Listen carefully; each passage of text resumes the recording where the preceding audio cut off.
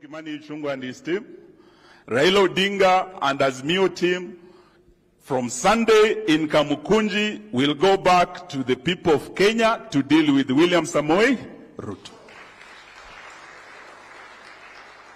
So we'll go on, and I want to thank you for urging us to go on with the engagement of the people of Kenya as we did the consultations. And it behoves us now at this stage of the talks to go back to the people of Kenya to brief them where we have come from, where we are, and where we want to go. So we agree with you and we'll walk this journey together.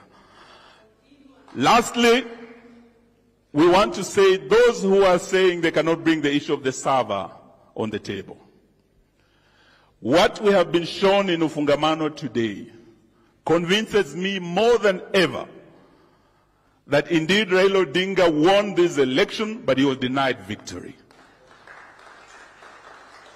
And if Gachagua, I heard Wetangula, I heard Mudavadi and Ruto himself saying that the only way he can sit with Raila Odinga is if he recognizes the legitimacy of his presidency and his government. Today from Ufungamano, we want to say this, that that legitimacy is not Raila's to give Ruto. That legitimacy can only be given the day the server is opened. I believe that's going to be one of our resolutions. And if he wants the recognition and legitimacy from the rest of Kenya, because so far he's a minority leader. Leaders have said he was elected by only a third of the electorate of Kenya. The silent majority is not with him.